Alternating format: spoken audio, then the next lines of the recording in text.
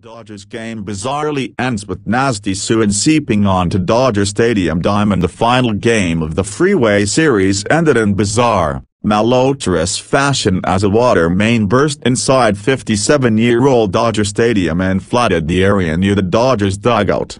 Unable to stop the pipes from pumping liquid onto the field, stadium officials called off the game after a 32-minute delay in the fifth inning against the Angels.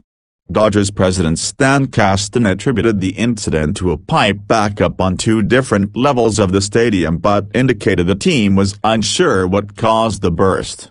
Officials from the city were trying to determine the source of the leak late on Tuesday evening. The Dodgers were not concerned about the situation affecting the regular season opener on Thursday against San Francisco, Kasten said. He added the team would sort out whether to offer refunds for Tuesday's customers in the coming days.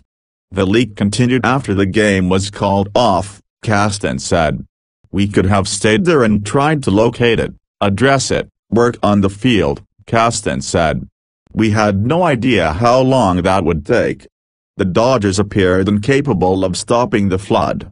As the liquid spilled onto the field, stadium attendants could only spread it across the dirt with brooms. After fans exited the premises, a different crew used the hose to vacuum the area. The damage may have spread beyond the diamond.